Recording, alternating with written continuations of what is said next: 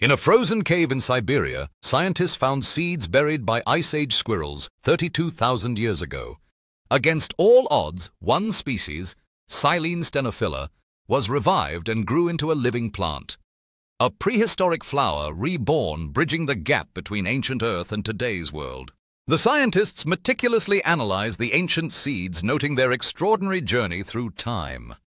As the Silene stenophila began to thrive, it brought with it echoes of an Earth that existed millennia ago. Each petal of the Silene stenophila told a story of survival, astonishing the scientists as they compared its DNA to modern relatives. This remarkable discovery sparked a deeper understanding of how life endures through ice and time. As the researchers shared their insights, they realized the implications of reviving such an ancient species. It was not merely about bringing back a flower, but understanding the resilience and adaptability of life across epochs.